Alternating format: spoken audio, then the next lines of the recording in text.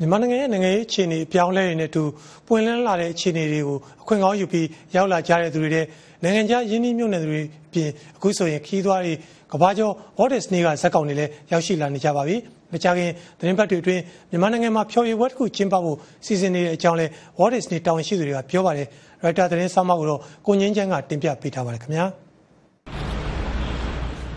မီကီနဲ့မီနီကြွက်ကလေးတွေကိုအခုလိုနေရာမှာတွေ့ရခဲ့ပါတယ်။ ဒါပေမဲ့သူတို့ကရောက်နေပါပြီ။ရှေ့တောင်အာရှကမြန်မာနိုင်ငံကိုစစ်အာဏာရှင်တွေဆယ်စုနှစ်ပေါင်းများစွာအုပ်ချုပ်ပြီးတဲ့နောက် Walt Disney ရဲ့ဇာတ်ကောင်တွေမြန်မာပြည်ကိုရောက်နေပါပြီ။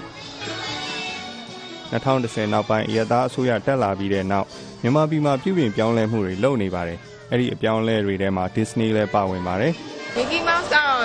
ဟိုအရင်တည်းကဆိုတော့လေသူ့ကတ်တွန်းလေးတွေကလည်းအရန်ကောင်းနေတယ်ကလေးတွေပြဖို့ဆိုပြီးတော့အခုနောက်ပိုင်းက Disney မှာအဲ့ education ဟိုဟာလေးဖွက်လာတယ်လေ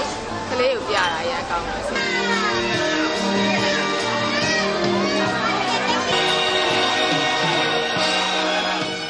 အော်တိုဘာလအစောပိုင်းမှာ Disney ကုမ္ပဏီအနေနဲ့ပထမဆုံးဖျော်ဖြေပွဲလုပ်နိုင်မယ်လို့မျှော်လင့်ထားပါတယ်ခင်ဗျာ